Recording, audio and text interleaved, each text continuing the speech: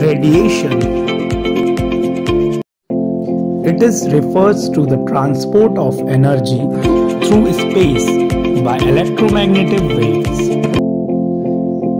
Radiation एक प्रकार की एनर्जी है जो स्पेस से इलेक्ट्रोमैग्नेटिक वेव्स की मदद से ट्रांसपोर्ट होती है